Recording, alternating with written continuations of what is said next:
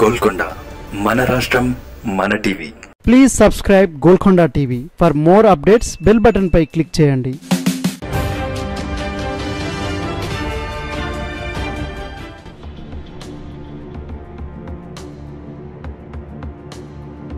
ఒకప్పుడు కాంగ్రెస్ పార్టీకి కంచుకోటగా ఉన్న ఆ ప్రాంతంలో ఇప్పుడు నీలినీడలు కమ్ముకున్నాయా? తెలంగాణకు గుండెకాయ వంటి ఆ స్థానాల్లో సరైన అభ్యర్థులు దొరకటం లేదా? ఇక్కడ పార్టీని లేపేందుకు రేవంత్ ఎంత ప్రయత్నిస్తున్నా నేతలు సహకరించటం లేదా? రాబోయే ఎన్నికల్లో ఇక్కడ గెలుపు ఆశలు వదులుకోవాల్సిందేనా? అంటే విశ్వసనీయ వర్గాలు అవుననే సమాధానమిస్తున్నాయి. అదెక్కడో కాదు గ్రేటర్ హైదరాబాద్ ప్రాంతంలో వచ్చే అసెంబ్లీ ఎన్నికల్లో టీఆర్ఎస్కు ప్రత్యామ్నాయంగా నిలిచేందుకు తెలంగాణ కాంగ్రెస్ అష్టకష్టాలు పడుతోంది.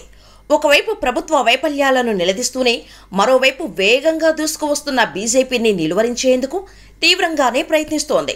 పార్టీ అధ్యక్షుడు రేవంత్ అధిష్టానం అంటతో జిల్లాలో పర్యటనలు చేస్తూ పార్టీ బలోపేతం కోసం ముందడుగులు వేస్తున్నారు. కానీ గ్రూపు తగాదాల వల్ల నగరాన్ని పట్టించుకోవటం లేదు. ముఖ్యంగా గ్రేటర్ హైదరాబాద్ పరిధిలో కాంగ్రెస్ పార్టీ ఉనికి ప్రశ్నార్థకంగా మారుతోంది.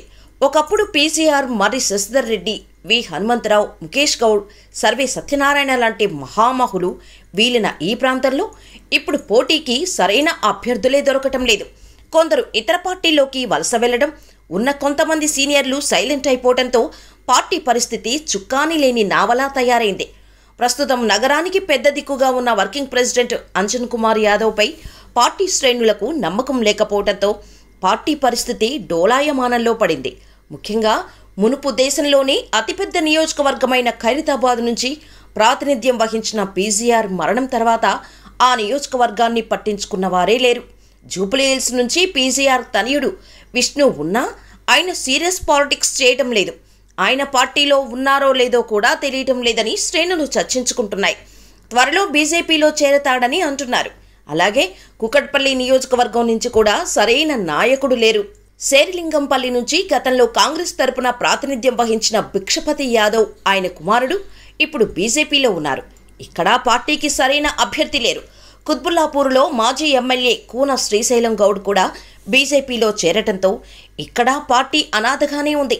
అలాగే గోషామహల్ కూడా గతంలో కాంగ్రెస్ ఖాతాలోనే ఉండేది. దానిని బీజేపీకి సమర్పించుకున్నారు.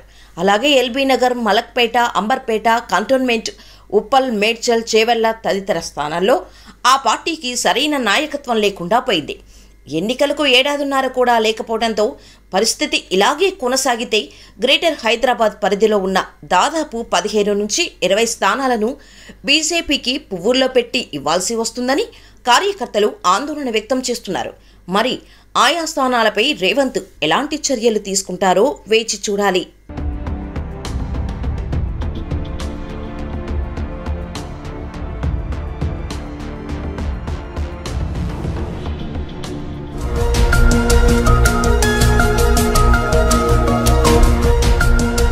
సత్యాలు చెప్పడానికి సాహసం కావాలి.